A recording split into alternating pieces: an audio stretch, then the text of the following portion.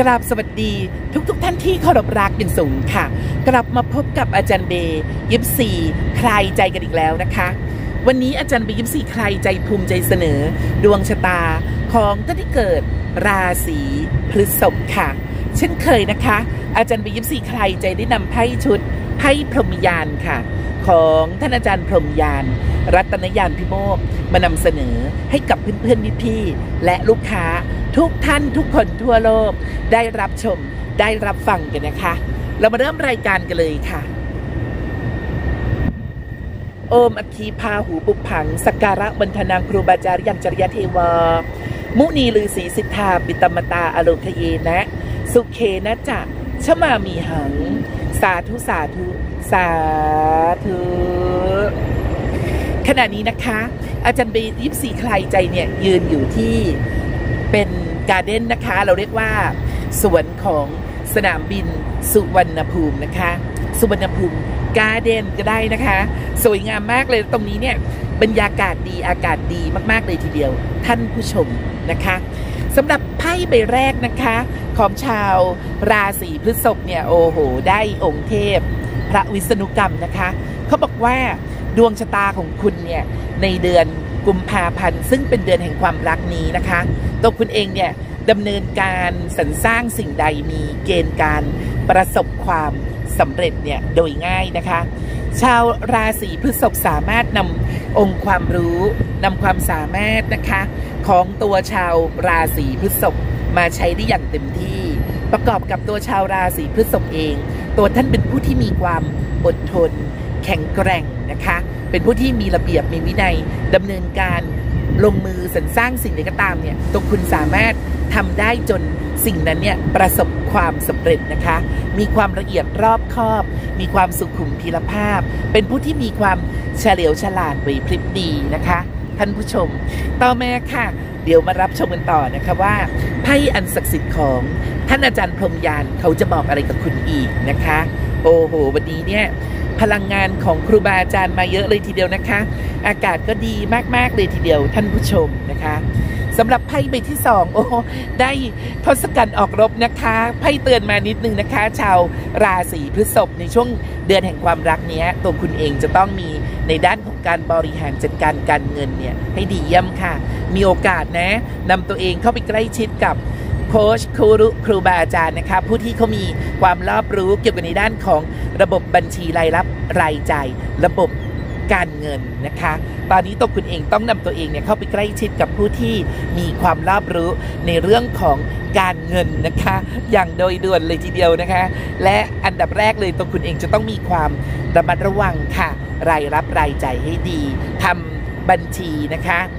ส่วนบุคคลนะทำบัญชีบุคคลและรายรับรายจ่ายประจำวัน คือช่วงนี้การเงินการทองมีเกณฑ์การเงินออกเยอะนะคะ ดังนั้นเนี่ยชาวราศีพฤษภให้มีความระมัดระวังในด้านของการเงินการทองเนี่ยให้มาก ๆเป็นพิเศษค่ะนะถ้าระมัดระวังดีตัวคุณเองก็สามารถที่จะควบคุมบริหารจัดการการเงิน ให้อยู่ทันเวลาให้อยู่ในระบบที่ดีได้นะคะ ชาวราศีพฤษภนะภัยเขาเตือนมานะคะนะ ต่อมาค่ะท่านผู้ชมคะองค์เทพพระเพลิงนะไพ่ใบนี้เขาบอกว่าในด้านของการปฏิสัมพันธ์ระหว่างคุณกับคุณแม่นะคะ ช่วงนี้เนี่ยคุณต้องเวลาพูดคุยอะอย่าวู่วามอย่าใจร้อนนะคะใจเย็นๆนะ แล้วช่วงนี้เนี่ยตัวคุณแม่เองก็อาจจะมีความวุบวาบวุบวาบอารมณ์คุณ ง่ายด้วยนะคะ อาจจะเป็นเพราะว่าช่วงนี้เนี่ยอากาศเปลี่ยนแปลงก็ได้นะคะ ท่านผู้ชมดังนั้นเนี่ยชาวราศีพฤษภเวลาพูดคุยกับคุณแม่ พูดคุยกับเครือญาติพี่น้อง เพื่อนสนิทมิตรสหายเนี่ยให้มีอารมณ์ที่เบิกบานใจมีความสุขมีอารมณ์ที่เป็น positive thinking มีพลังงานดีๆ มีพลังงานบวกเยอะ ๆ นะคะ นะ เพราะช่วงนี้คุยกันแล้วเนี่ย อาจจะเกิดความเข้าใจผิดเนี่ย โดยง่ายนะคะ ชาวราศีพฤษภค่ะ นะต่อมาค่ะเดี๋ยวเรามารับชมกันต่อว่าไพ่อันศักดิ์สิทธิ์ของท่านอาจารย์พรมยานเขาจะบอกอะไรกับชาวราศีพฤษภอีกนะคะ พลังงานของครูบาอาจารย์มาเลยทีเดียวท่านผู้ชมนะอ่าได้โอ้ใบนี้ดีจังเลยนะคะไพ่ใบนี้บอกว่าได้องค์เทพสัจธรรมนะคะเขาบอกว่าในด้านของการปฏิสัมพันธ์ระหว่างชาวราศีพฤษภกับบุคคลต่างๆในวงสังคมเนี่ยได้การต้อนรับผลักดันสนับสนุนดีเยี่ยมนะคะ ดังนั้นไม่ว่า ชาวราศีพฤษภไม่ว่าตัวคุณเองจะดำเนินในเรื่องใดๆก็ตามในชีวิตตอนนี้นะคะ ไม่ว่าจะดำเนินในเรื่องของธุรกิจออนไลน์ ธุรกิจออฟไลน์ ธุรกิจการเกษตร ธุรกิจทุกชนิดบนโลกใบนี้นะคะ ตัวคุณเองมีโอกาสได้รับการผลักดันได้รับการสนับสนุนจากบุคคลต่างๆเนี่ยทั่วทุกวงการและทั่วทุกองค์กรนะคะ เห็นไพ่มิคะ องค์เทพสัจธรรมนะเรียกว่า อยู่ในเกณฑ์ดีอยู่นะอยู่ในเกณฑ์ดีอยู่ทำมาค้าขายดีทำมาค้าขายขึ้นสำหรับในด้านของการเดินทางไปยังต่างถิ่นต่างแดน ต่างจังหวัดต่างประเทศปลอดภัยค่ะ อุบัติเหตุไม่มีนะคะ เพราะว่าในไพ่เป็นไงคะ มีแสงฉับพลันรังสีเนี่ยอยู่ล้อมรอบองค์ สมเด็จพระพุทธจารย์โตเลยทีเดียวเห็นไหมคะไพ่เนี่ยบ่งบอกเลยว่าตัวคุณเนี่ยช่วงนี้ปลอดภัยค่ะ มีสิ่งศักดิ์สิทธิ์คอยปกปักรักษาคุ้มครองตลอดการเดินทางเลยทีเดียวนะคะ ท่านผู้ชม ต่อมาค่ะเดี๋ยวอาจารย์ยิปซีใครใจ เลือกไพ่อีกหนึ่งใบนะคะ มารับชมกันว่าไพ่เนี่ยบอกอะไรอีกนะไพ่ของท่านอาจารย์พรมยานนะเขามีความศักดิ์สิทธิ์มากๆนะ ท่านผู้ชม ดังนั้นเวลาที่ท่านผู้ชมเข้ามารับชมคลิปดีๆ ของอาจารย์เบยิปซีใครใจเนี้ย ให้ตั้งจิตตั้งใจนะคะ รับคำพยากรณ์ดวงนะคะ เรื่องไหนดีก็รับไป เรื่องไหนดีมากๆก็ต้อง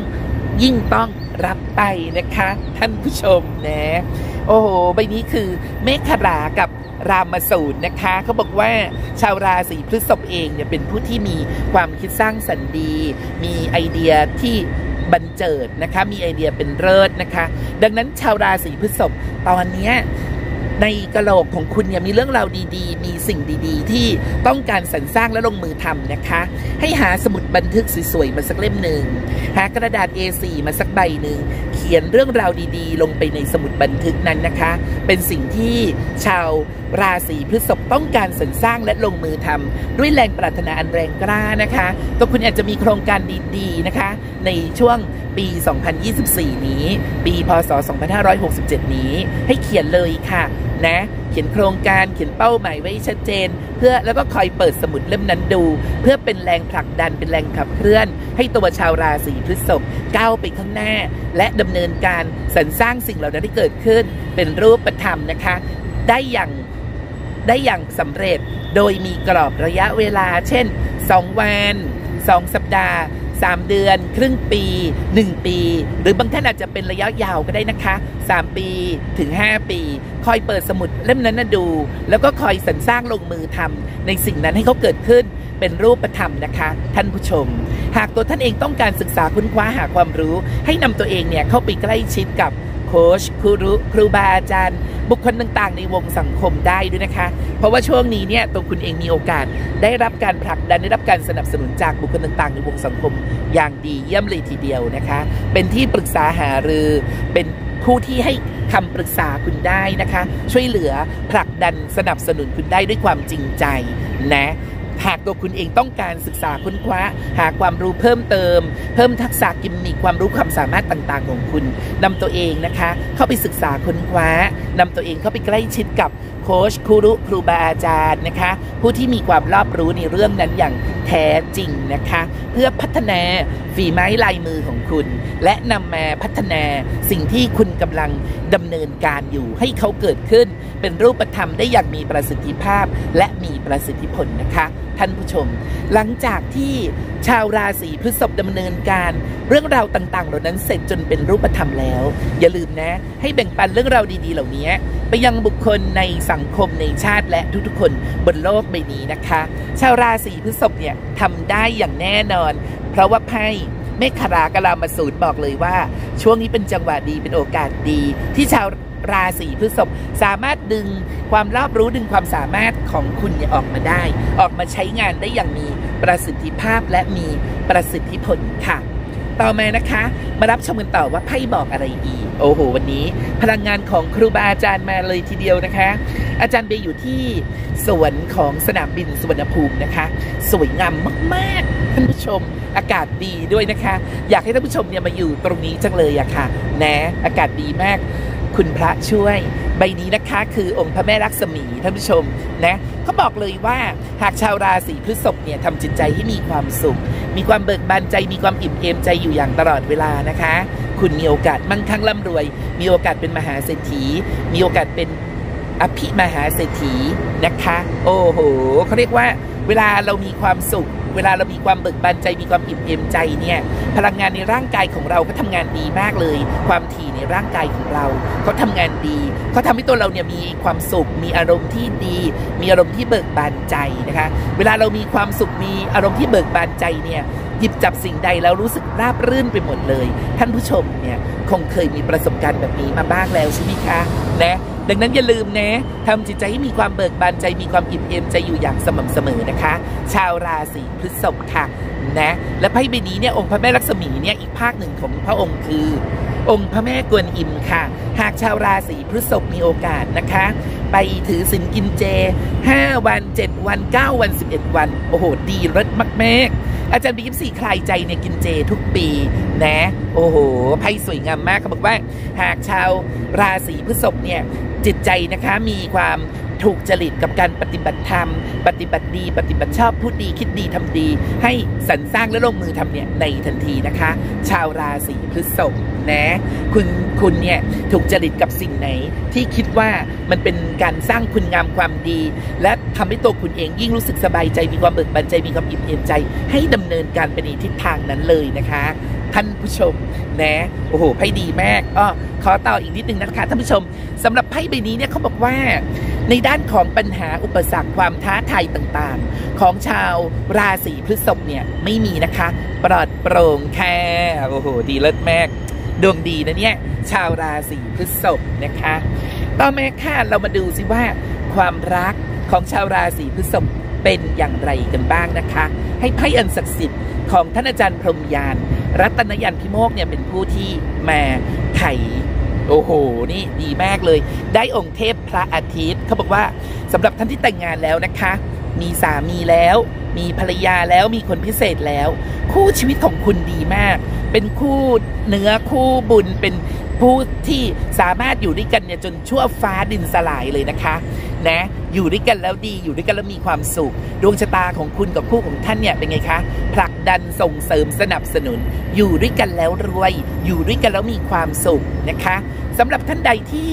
อยู่กันมานานแล้วแต่ยังไม่ได้แต่งงานกันนะคะ ในไพ่บอกเลยว่าตัวคุณเองมีเกณฑ์การแต่งงานกัน มีความเข้าจิตเข้าใจกันในด้านของความรักที่ดี มีความเป็นกัลยาณมิตรที่ดีต่อกันค่ะ ชาวราศีพฤษภแหมไปเห็นไพ่ใบนี้แล้ว ขอแสดงความยินดีกับชาวราศีพฤษภด้วยนะคะสำหรับท่านใดที่งอนกันโกรธกันเคืองกัน เกณฑ์การคืนดีกันทำไมคะ สูงมากๆเลยทีเดียวค่ะ อย่าลืมนะ แบ่งปันความรักแบ่งปันเรื่องราวดีๆ ไปยังคนพิเศษของคุณ และช่วงนี้เป็นช่วงของเทศกาลแห่งความรักพอดีนะบอกรักกันทุกวัน แสดงความรักต่อกันทุกวันนะคะ ต้องแสดงจริง ๆ นะคุณผู้ชม อย่าไปคิดในใจเหมือนในนวนิยายนะ ต้องแสดงต้อง action ออกมานะคะ ชาวราศีพฤษภนะ เอาเมฆค่ะ โอ้โห ดูโอ้โหท่านผู้ชมค่ะไพ่ใบนี้ดีมากเลยนะไพ่ใบนี้เขาบอกว่าชาวราศีพฤษภเนี่ยเวลาตัวคุณนะคะ เดินทางไปเหนือล่องใต้เนี่ย ปลอดภัย หรือเวลาที่คุณเนี่ยจะซื้อลอตเตอรี่จะเสี่ยงโชคนะคะ ให้ซื้อนอกบ้าน คุณมีโอกาสถูกหวยโรยโป และเทคนิคในการที่คุณจะถูกหวยโรยโปได้ คุณต้องทำไมคะ แต่งเนื้อแต่งตัวให้สวย แต่งตัวเนื้อแต่งตัวให้หล่อให้เท่นะ วันนั้นจะสามารถดึงในด้านของความมั่งคั่ง ความร่ำรวย โชคลาภมาสู่ตัวคุณได้นะเกณฑ์การเดินทางปลอดภัยอุบัติเหตุไม่มี เกณฑ์การเดินทางประสบความสำเร็จ เกณฑ์การเดินทางการตกลงเจรจาในระหว่างปรางปทางเนี่ยได้รับการผลักดันได้รับการสนับสนุนตามคาดหมายนะคะ ชาวราศีพฤษภแหมได้องค์กุมารทองมานี่ดวงดีมากๆเลยทีเดียวนะคะ ชาวราศีพฤษภนะต่อมาค่ะมารับชมกันต่อว่า ไพ่อันศักดิ์สิทธิ์ของท่านอาจารย์พรหมยานเนี่ยเขาบอกอะไรกับ ชาวราศีพฤษภอีกค่ะนะคะโอ้โห ได้องค์เทพพระพรหมฤาษีนะเขาบอกว่าหากท่านใดที่มีผู้บังคับบัญชาที่เป็นผู้ชายเนี่ยเขามีความเข้าจิตเข้าใจในตัวของคุณดีมากเลย ให้การผลักดันให้การส่งเสริมสนับสนุนคุณ ที่อยู่อาศัยนะคะ ไม่ว่าจะเป็นบ้านช่องห้องหอ เป็นสถานที่ทำงานของคุณ เป็นสถานที่ที่คุณพักอาศัยอยู่ เจ้าที่เจ้าทางนางฟ้าเทวดา เขาปกปักรักษาคุ้มครองคุณ และคนที่ใกล้ชิดคุณ บ้านหลังนี้อยู่แล้วเฮงอยู่แล้วรวย บ้านหลังนี้อยู่แล้วมีความสุขนะ โอ้โห ดังนั้นชาวราศีพฤษภอย่าไปรอจนถึงช่วงเทศกาลสงกรานต์นะคะ หิ้งพระหิ้งเจ้าเนี่ยดูแลให้ดี ปัดฝุ่นเอาฝุ่นออกให้หมดนะคะ ดอกไม้ที่ขึ้นหิ้งไว้จนดอกไม้สดนั้นแห้งแล้วเนี่ยนะฮะให้เปลี่ยนเลยล้างจากกันคว่ำไว้ รอช่วงวันพระหน้า เปลี่ยนดอกไม้สดใหม่อีกครั้งเปลี่ยนน้ำเปลี่ยนให้ดีจัดวงจุ้ยที่อยู่อาศัยของคุณให้ดี อะไรอะที่ไม่ใช้จำหน่ายใจแจกไปซะนะคะ อย่าเก็บเอาไว้มันรกบ้าน กีดขวางการเดินทางของการเงินค่ะนะคะทำบ้านให้โล่งโปร่งสบายน่าอยู่นะคะ ท่านผู้ชม นะ โอ้โหไพ่สวยนะเนี่ยวันนี้นะคะ ชาวราศีพฤษภต่อมาค่ะมารับชมกันต่อว่าไพ่บอกอะไรอีกนะคะสำหรับไพ่ใบนี้ค่ะองค์พญาสุครีบ โอ้โห อยู่ในตำแหน่งหน้าที่การงานธุรกิจการงานบอกแล้วไงคะว่าชาวราศีพฤษภเนี่ย ตัวคุณเองเป็นผู้ที่ทำไมคะ ฉลาดไหวพริบดี มีความสุขุมพีรภาพดีเยี่ยมมาก หยิบจับสิ่งใดมีเกณฑ์การประสบความสำเร็จด้วยความมีระเบียบมีวินัย มีการสรรสร้างลงมือทำอย่างต่อเนื่อง มีการเอาอกเอาใจใส่ในสิ่งนั้นอย่างดี และตัวคุณเองเป็นคนที่ไม่ยอมอยู่นิ่งเฉยนะคะ คอยพัฒนาศึกษาค้นคว้า หาความรู้ เพิ่มทักษะเพิ่มกิมมิคเพิ่มความรู้ความสามารถให้กับตัวเองอยู่ตลอดเวลา เห็นไหมคะ โอ้โห ดวงดีมาก สิ่งเหล่านี้ไม่ได้เกินจริงนะ มันเกิดขึ้นได้จากตัวคุณเอง ชาวราศีพฤษภเตรียมตัวรวยเลยนะคะ ต่อมาค่ะชาวราศีพฤษภมาดูกันต่อนะคะ ว่าไพ่บอกอะไรอีก โอ้โห องค์พระแม่นางกวัก ไพ่ใบนี้นะคะเขาบอกว่าชาวราศีพฤษภเนี่ย คุณอาจจะเคยวางโฉนดที่ดินพันไร่หมื่นไร่ แสนไร่เอาไว้แล้วหาไม่เจอ ในเดือนกุมภาพันธ์นี้แหละคุณเจอ และคุณมีโอกาสถูกหวยรวยโปมีโชคมีลาบ สิ่งใดที่เป็นของมีค่าเป็นของที่ถูกอกถูกใจคุณที่ห่างหายไปนาน มีเกณฑ์การได้กลับคืนมานะชาวราศีพฤษภดีมากมากๆเลยทีเดียวนะคะ ท่านผู้ชม ต่อมาค่ะเรามารับชมไพ่ใบที่ 12 นะคะ มารับชมกันว่าไพ่อันศักดิ์สิทธิ์ของท่านอาจารย์พรหมยานรัตนยันพิโมกเนี่ยเขาจะบอกอะไรกับชาวราศีพฤษภอีกค่ะนะคะโอ้โห ได้พระสีวะ องค์เทพพระศิวะเนี่ยเขาบอกเลยนะ ว่าดวงชะตาของชาวราศีพฤษภเนี่ยทำไมคะตอนนี้ดวงดีมากเลย ยิ่งตัวคุณเองเนี่ยมันปฏิบัติดีปฏิบัติชอบ พูดดีคิดดีทำดีนะคะ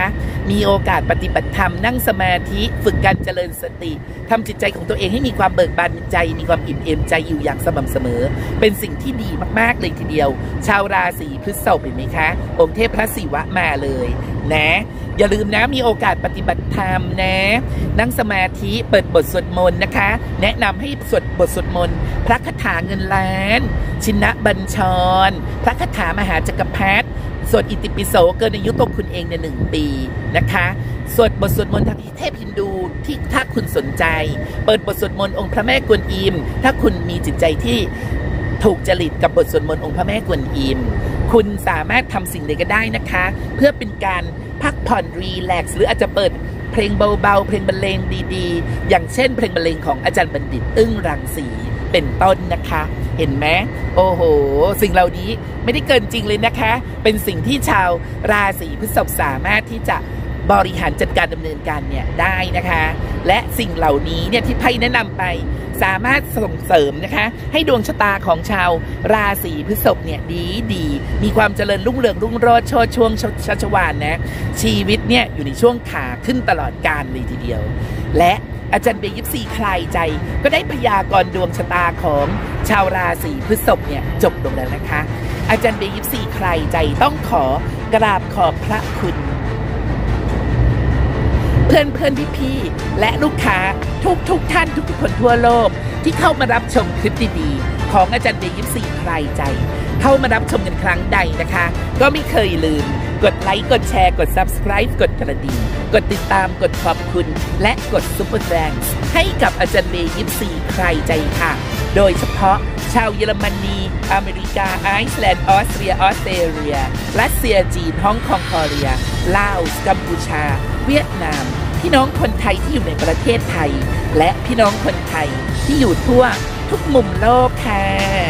ก่อนจากกันอาจารย์เบยิปซีใครใจขอให้ เพื่อนเพื่อนพี่พี่ๆและลูกค้าทุกท่านทุกคนทั่วโลก โชคดี มีความสุข มั่งคั่ง ร่ำรวย ทั้งยามหลับและยามตื่น และกลับมาพบกับ คลิปดีๆ ของอาจารย์เบย์ยิปซีใครใจได้ใหม่ ในคลิปถัดไป